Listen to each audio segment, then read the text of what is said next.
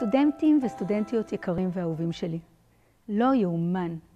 עברו שנתיים, ובאמת שנתיים לא צפויות ודי סוערות, בעיקר החודשים האחרונים, אבל למרות הכל, ולמרות כל הניסיונות של היקום אולי לשבש לנו את התוכניות, דבר אחד עשיתם.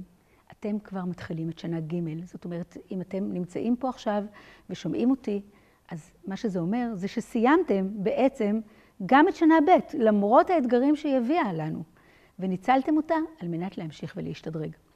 אז חברים יקרים, קודם כל, מחיאות כפיים לכם.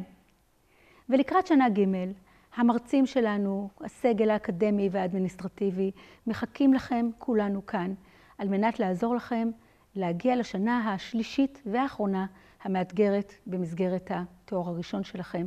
שנה שאני מקווה שתרגישו שאתם משלימים בה ומקבלים כלים יישומיים טובים יותר, על מנת באמת אה, לסיים את התואר הזה בצורה הטובה ביותר.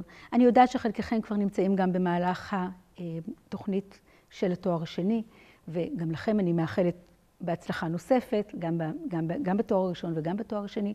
ואני רוצה להזכיר לכם שאני כאן בשבילכם. ולפחות דבר אחד אני שמחה, הקורונה שתפסה אותנו כל כך לא מוכנים, לפחות הצליחה לגרום לנו להיערך לכך שכנגד כל הסיכויים הצלחנו בעזרתכם, ואתם בעזרתנו, לסיים את השנתיים של הלימודים מבלי להתעכב.